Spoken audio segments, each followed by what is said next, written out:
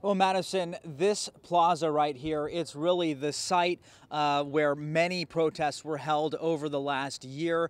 Uh, tonight, we speak with the brother of Stephon Clark, an unarmed black man who was killed by Sacramento police. He's reacting to the verdict tonight. What do we want?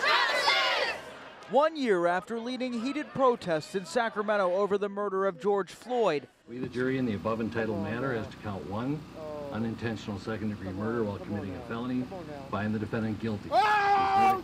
To this 20th day of April 2021. Stevante Clark fell to the ground after a Minnesota jury found former Minneapolis police officer Derek Chauvin, who knelt on George Floyd's neck for more than nine minutes, guilty of murder.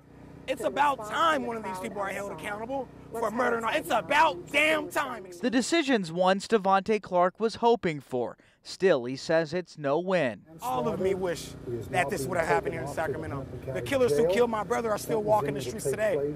This is not. George Floyd never gets to come back.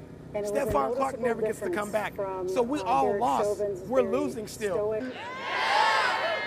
While many acknowledge Tuesday's decision in Minneapolis as a step in the right direction for race and policing accountability in America, Sacramento activists say the fight will go on. Um, this isn't justice for us because justice would mean that George Floyd would be here today and he'd be able to have his day in court.